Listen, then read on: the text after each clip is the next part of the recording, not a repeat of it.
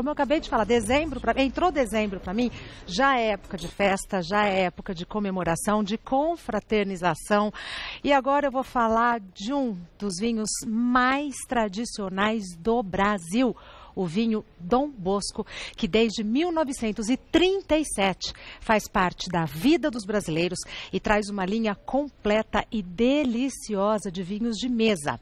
Dom Bosco é um vinho feito de uvas selecionadas da Serra Gaúcha e perfeito para tornar os bons momentos do nosso dia ainda mais especiais.